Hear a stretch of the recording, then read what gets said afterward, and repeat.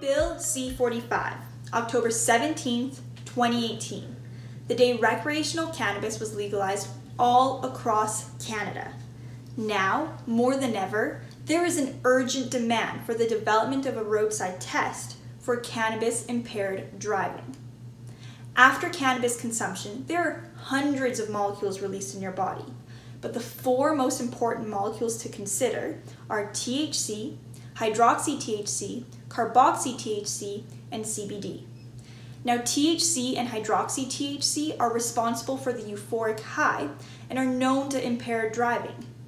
These two molecules are short lived in the body and can only be detected 8 hours after consumption, whereas carboxy THC and CBD will not get an individual high and are much longer lived. Carboxy THC can remain in the body for two weeks after consumption. This means a reliable roadside test needs to be able to differentiate between short lived impairing molecules and long lived non impairing molecules in order to prevent any false charges placed on a driver.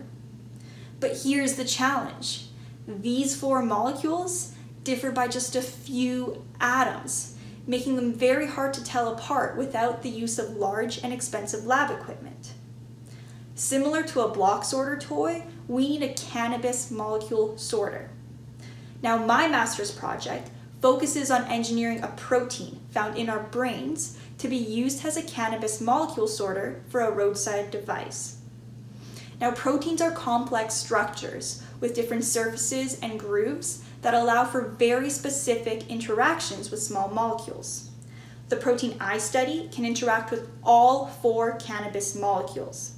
However, I'm trying to change it so that it could only interact with THC and hydroxy THC. It's like taking the block sorter toy and changing it so that only squares and crosses can fit through. To do this, I use the same technology as an MRI scanner to generate a three-dimensional map of my protein.